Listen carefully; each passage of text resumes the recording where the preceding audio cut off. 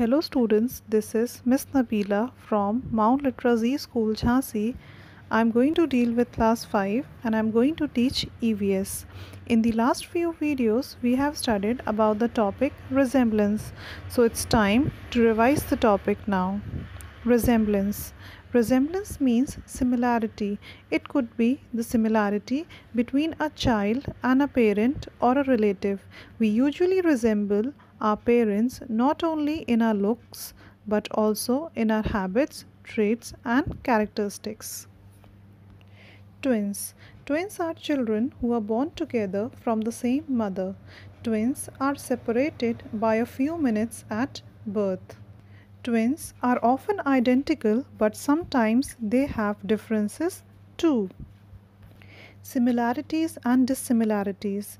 The physical similarities and dissimilarities between two people are often observed in several factors such as height, weight, body structure, hair, nose, and other features.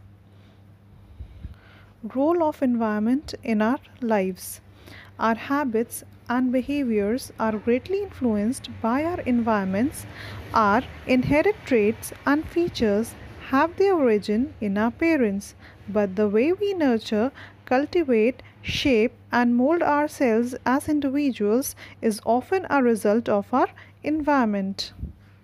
I hope the topic is clear to you all.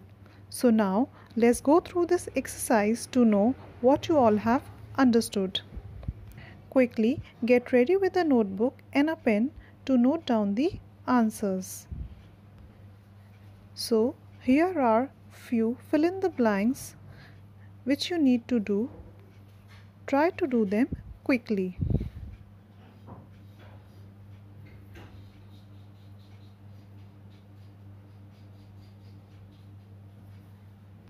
I hope you all are done with that. So let's discuss the answer. Here are the answers of the given fill in the blanks. Number 1. All of us have special traits and characteristics both physical and mental. Number 2. We also inherit the traits and habits of our grandparents and other relatives. Number 3. Resemblance means similarity.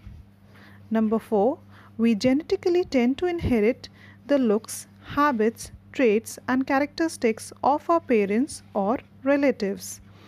And the last is the way we nurture, cultivate, shape, and mold ourselves as individual is often a result of our environment.